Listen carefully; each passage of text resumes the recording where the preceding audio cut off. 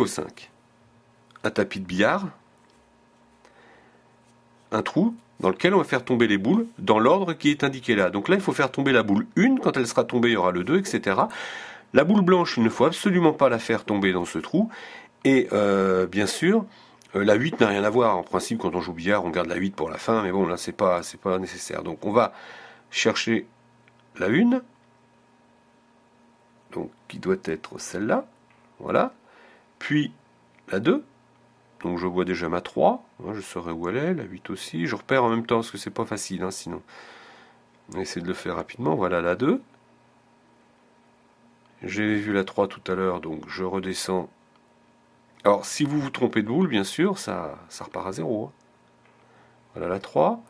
Maintenant, il faut que j'arrive à attraper la 4. Je ne sais plus où elle est. Attention à la blanche. Voilà, elle est là. Alors la 5 qui n'est pas évidente à trouver, je vous dis de suite le repère, c'est la 9, et elle est en dessous la 9 sur la droite. Parce qu'elle est vraiment difficile à trouver là. Voilà. repérez bien comment vous faites après pour revenir, parce que on s'y perd après avec ces boules. Donc voici la 5.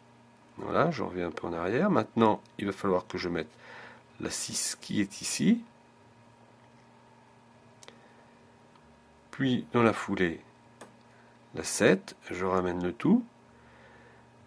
Maintenant, j'ai la 8.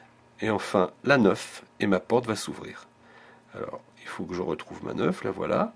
Et ma porte va s'ouvrir. Voilà. Et je peux aller vers le niveau 6.